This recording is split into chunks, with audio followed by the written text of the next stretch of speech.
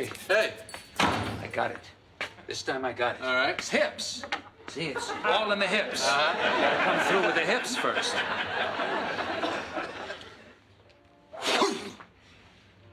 That is out there. Got it.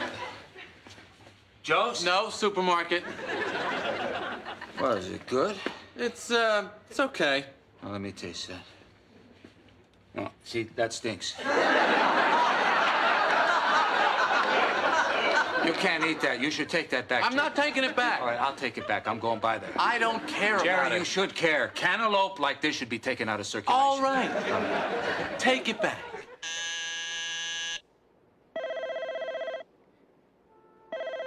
No, no. Leave a message, I'll call you back.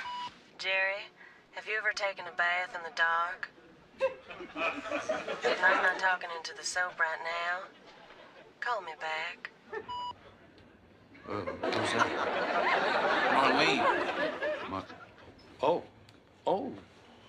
Marlene. Yeah, I, I took her home one night. We kind of started up a little bit in the car. Well, I thought you were trying to get rid of her. I was, but she's got me like hypnotized or something. Does George know? No, he'd go nuts. Yeah, no kidding.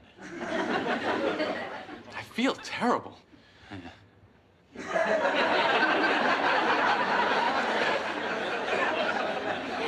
I mean, I've seen her a couple of times since then, and I know I can't go any further, but I, I just got like this psychosexual hold over me. I just want her. I, I can't breathe. It's like a drug.